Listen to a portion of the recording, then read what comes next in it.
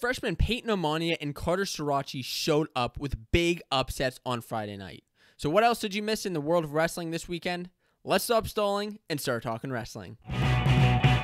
What's going on, wrestling fans? My name's Josiah, and welcome to the Fanco Wrestling channel for this week's segment of Wrestling Headlines. And this was a Big Ten heavy weekend, with the Big Ten being the teams that wrestled the most over the weekend. There were a couple other duels that happen. I'll be talking about Oklahoma State and them closing out their season. But in the Big Ten, Michigan and Michigan State wrestled, followed by Penn State and Ohio State. That was an exciting night of wrestling. We also got Nebraska and Illinois, Northwestern and Minnesota, and there were plenty of exciting matches and big upsets. Unfortunately, we didn't get the Wisconsin and Iowa duel. I was looking forward to that on Sunday, but ultimately we didn't get it due to the virus now in Iowa being shut down. So Let's talk about Michigan and Michigan State. This was quite an exciting duel. Uh, not necessarily in the score. Michigan beat Michigan State 28 to 9, which wasn't all that surprising. But the thing that was surprising was the big upset of 149 with Peyton Omania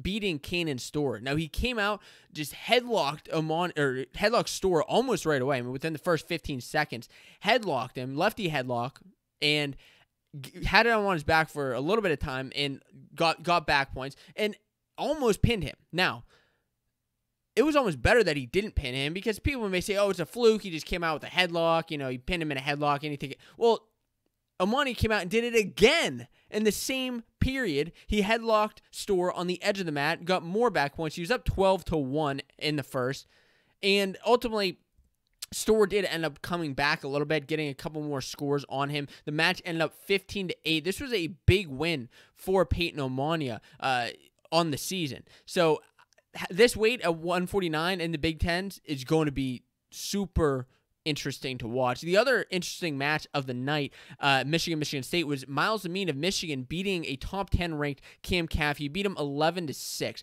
To be honest with you, this was the best I have seen I have seen uh, Amine wrestle the entire year. I've and of course, granted, he's only wrestled a couple matches. He had a couple decisions against Penn State and Ohio State, but this match he just looked like he was back to form. Uh, kept up the pace from from the very onset, getting a first takedown, and and just continuously being able to take Caffey down. Now Caffey was able to uh, kind of retort with a takedown in the third, but it wasn't enough. Myles Amine ended up beating him 11 to six in a very exciting match. In 197, I mean, right now Myles Amine's a top ranked guy there, but there's a lot going on at 197 pounds. So we'll see what happens there. But Penn State and Ohio State wrestled right after that duel, and although the Penn, the Nittany Lions beat down the Buckeyes 28 to 12, the score the score doesn't necessarily reflect how close that duel was. I was sweating a little bit. Like I was a little bit nervous going into 197 pounds when the score was. I mean, Ohio State definitely could have won by that point. I mean, especially 80. I mean, oh my goodness. Thank goodness the Nittany Lions came back for my sake. But, you know, that, that was just a fun night of wrestling for me. Uh, sat out on the deck with a glass of whiskey, a cigar, and watching Penn State wrestling. There's no night better than that. The match started out with Malik Heinselman beating Robbie Howard by a score of 5 to 2. Malik Heinselman has looking been looking great for the Buckeyes. I've enjoyed watching him wrestle this year and just beating rank guy after rank guy, just climbing those ranks. Watching him at the Big Ten tournament, I'll be interested to see if he's able to do that again because he's jumped levels. Currently in Ohio State black shirt. That's a big thing that they do at Ohio State, just showing the the best of the best guys in the room. And Malik Heinselman earned that this year. Beau Bartlett made his debut against Sammy Sasso. Now, this was quite the match. I wasn't expecting Bartlett to give Sasso quite the match. It was five to three, which was one of his closest matches of the year. Sasso's closest match of the year. You may already know that he has pins over top ten ranked guys like Max Murin, like Mikey Carr, and now he beat. He he was too much ultimately uh, for Beau Bartlett, who.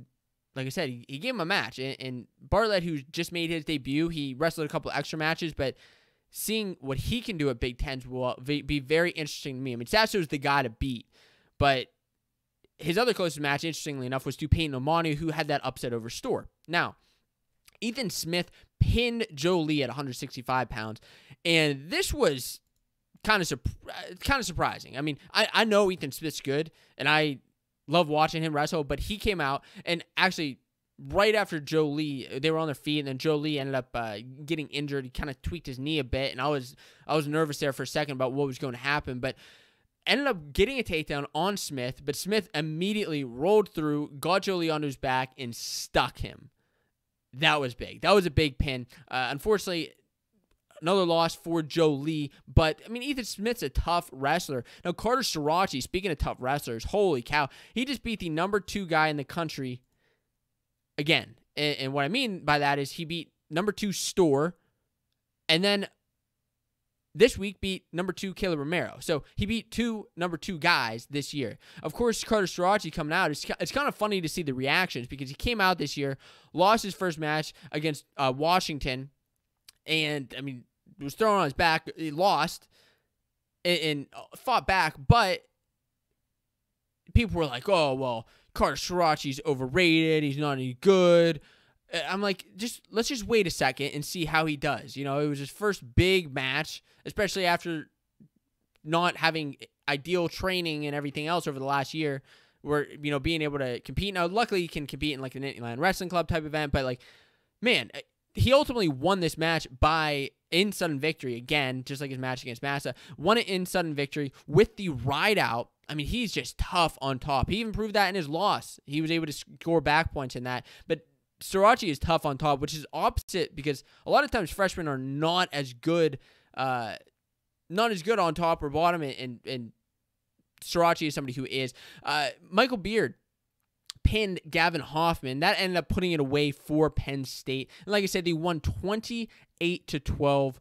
What a duel. What a duel. They're a lot of fun. I, I always enjoy the Penn State and Ohio State matches, and, and this year uh, was not any different. And the other thing that was talked about a lot during this duel. Uh, I mean, Shane Sparks, the announcer, was hyping this up the entire first half of this duel. He said, We got a big announcement. We got a big announcement. So, what was the big announcement? Well, the big announcement was that the Big Ten will be will be airing every session of the Big Ten Wrestling Championships this year. So March 6th and 7th will it will be the Big Ten Championships, and I'll, I'll, be honest. So here's my take on a couple of these things. One, I was expecting the announcement to be a little bit bigger. I thought that they were going to say there are going to be fans allowed at Big Tens this year. I was so pumped to see if that was going to happen, and no, it, um, so it's good that they are airing it this year, all sessions. Unlike in the past, a lot of these have been aired on FloWrestling when they had the rights to Big Tens.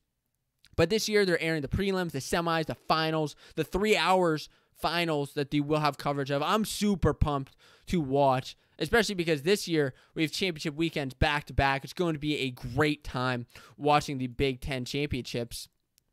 Speaking of other Big Ten matches, and then we'll get into a couple things outside of the Big Ten. It was just it was a Big Ten heavy weekend.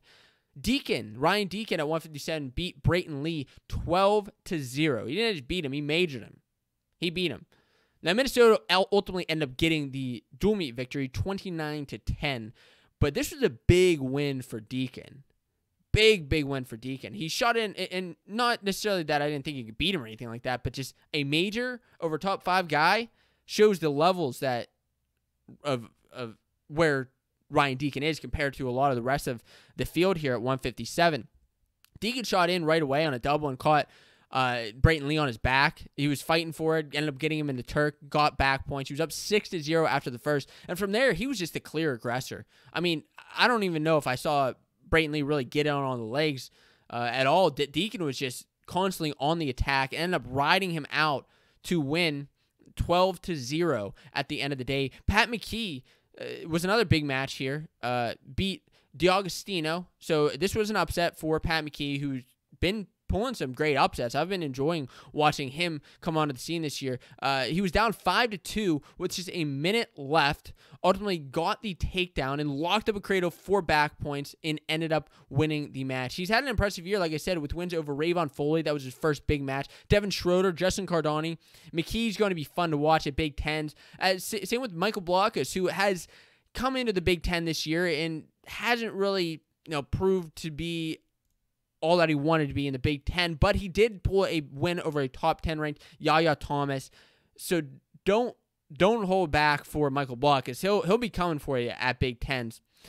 in the last Big Ten match that happened before we get to Oklahoma State and them wrestling Oklahoma for the second time this year, Nebraska beat Illinois 25 to 9, cementing them as a top three or four team, depending on where you want to put them with Mich against Michigan. But there were no major upsets here. A couple matches to note though. Dan Braunagel beat Peyton Robb by a score of nine to six, and Taylor Venz. This, I mean, this was the biggest upset. It wasn't. I wouldn't call it crazy or anything like that. But Taylor Venz majored Zach Braunagel. The interesting thing to note here. To me, is that this is the first big win for Venz of the year after his losses to Nelson Brands and Chris Weiler. This is his first big match and a good time to start coming alive just in time for the postseason. Now, speaking of other conferences, right now, Oklahoma State finished the 2021 season undefeated. They finished the season 10 and 0. This is a good win. This is a good season for Oklahoma State Cowboys, who beat Oklahoma for the second time this year. This time they beat them by a score of 24 to 16. The first time they wrestled them just a couple weeks ago, they beat them 24 to 10. It's been good to see Oklahoma State wrestling a couple of the same opponents. I actually kind of wish there was a little bit more of that in college wrestling so we could see multiple duels and how they turned out. Now, the only match that actually switched this time the only match that flipped in favor of Oklahoma was uh, Mantanona of Oklahoma, who upset number 13, Dustin Plott. This was a good win, definitely a good win uh, for Mantanona. And he previously actually lost uh, to Plott earlier in the year, and, and he ended up coming back and beating him this time around. So that was good to see. Daton Fix, oh my goodness. He's only wrestled like five matches this year, and he has he's won all by major or not major by bonus points, either tech or fall. I think he has four pins on the year. It's been great to see Daton Fix back in the mix at 133 pounds. He pinned Tony Madrigal. And AJ Ferrari, another cowboy, uh, who's looking good with the win over a top 15 ranked opponent, opponent in Jake Woodley, beaten by a score of 4 to 1. And Ferrari's only loss on the year is to Noah Adams. It's his only loss, who previously was the number one ranked guy until his multiple losses to Buchanan of Wyoming. And, and Big 12s at 197 is going to be wild. Now, in other news, North Dakota State and South Dakota State wrestled this weekend as well. They didn't wrestle an actual duel. They just wrestled in what they call the Last Chance Challenge, giving them the opportunity to wrestle over 40 matches. This is just great for Big 12 in training.